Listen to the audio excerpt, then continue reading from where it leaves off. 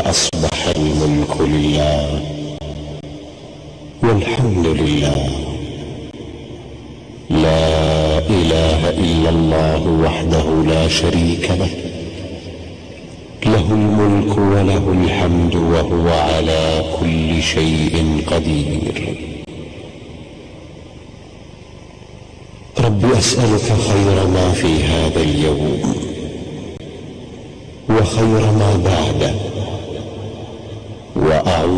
بك من شر ما في هذا اليوم وشر ما بعده. رب أعوذ بك من الكسل وسوء الكبر. رب أعوذ بك من عذاب في النار وعذاب في القبر.